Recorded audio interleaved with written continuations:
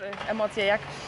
Podobało się? Nie no, emocje jak zawsze na wysokim poziomie, natomiast w tym roku no to przekroczyły wszelki poziom, bo pierwszy raz okazję grać w siatkówkę na takiej hali, to co do tej pory było, no to było fajnie, ale jednak no ile tam było, nie wiem, 500 osób, no dużo mniej nas tutaj cała hala przyszła.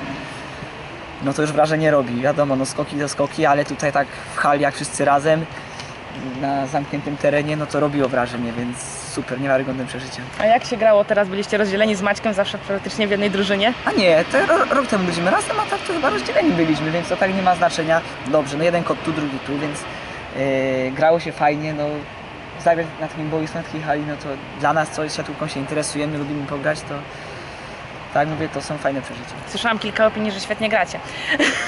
No bez przesady, no ty na No, siatkarzy, no, No to od trudno, że- siatkarzy słyszałam, no to wiesz. Znaczy, no, my akurat z Markiem lubimy sobie pograć, jak jest wolna, wolna chwila, że możemy, mamy okazję, to lubimy, no jest wysok, więc trzeba go wykorzystać, trochę techniki jeszcze złapać i wiadomo, że tak amatorsko można. Jesteśmy na północy kraju, a masz tutaj tyle fanek, tyle autografów rozdałeś, pomimo, że zawiesiłeś karierę. Może no z to... Maćkiem pomylili, nie wiem.